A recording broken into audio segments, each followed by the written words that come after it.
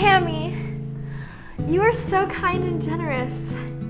Thank you ever so much for inviting me to your cozy off campus cottage. It's so wonderful to break free from those sterile dormitories. I remember those dorms. I had a roommate who was just a huge asshole. My roommate has taken up a lover. A lover. Saucy. I've decided to take up a lover myself. Ooh. yes, I recently obtained a compact disc of the popular musical artist George Michael. His vocal stylings, they do something to me. It's like a physical trance that I get into. It's I just I'm falling in love with him. well, we can dream.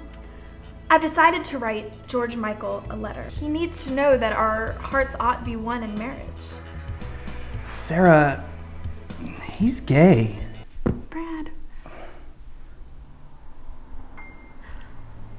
Are you saying that he prefers the love and tenderness of another man? Yeah.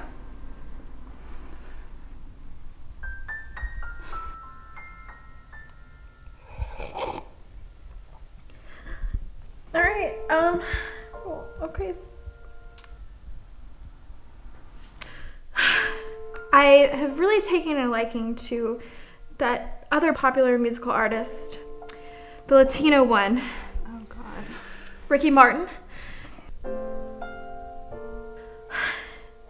That um, the blonde guy from NSYNC. Really? I'm, I'm, I'm gonna go get you some tissues. Okay, I like older men. What about Gandalf from Lord of the Rings? Loves the staff. Elton John. Gay. Liberace. Way gay. SpongeBob SquarePants. Asexual. The Yellow Teletubby. He's not not gay. Face from Nick Jr.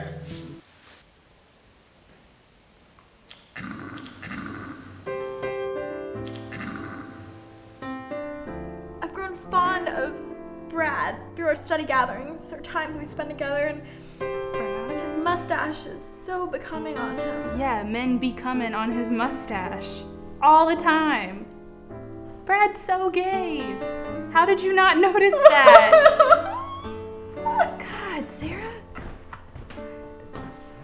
Oh, let it out, girl. oh, God! Oh, you're gonna make me cry.